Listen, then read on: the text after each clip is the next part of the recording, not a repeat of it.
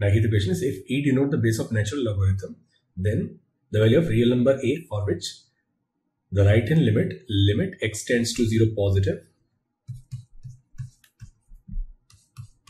1 minus x to the power 1 by x minus e to the power minus 1 upon x to the power a is equal to a non-zero real number. Now we'll solve this question using expansion. So we'll use the expansion of 1 minus x to the power 1 by x.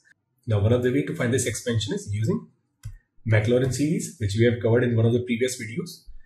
Now since we are assuming it, it's for JEE, we are not going to use Maclaurin series in this case. So what I'll do is I'll say, suppose this expansion is y and we can write this as e to the power log 1 minus x to the power 1 by x which is e to the power 1 by x log 1 minus x.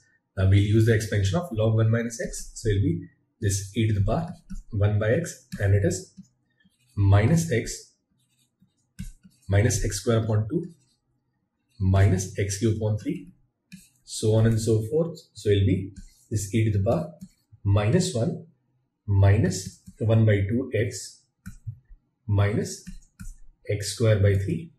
Now we'll take e to the power minus 1 common. We can write this as e to the power minus x by 2 minus x square by 3 up to infinite. Now this is expansion of e to the power minus x and we know that expansion of e to the power minus x is 1 minus x and x in this case is x by 2 plus x square by 3 and plus x square upon factorial 2. Now we are just concerned with first few powers. So in this case, if I take square of the series, then the term I'll get is x square, x square upon, now this 4 into will be this 8. So we'll get this as e to the power minus 1, 1 minus x by 2 and then it'll be this minus x square by 3 plus x square by 8.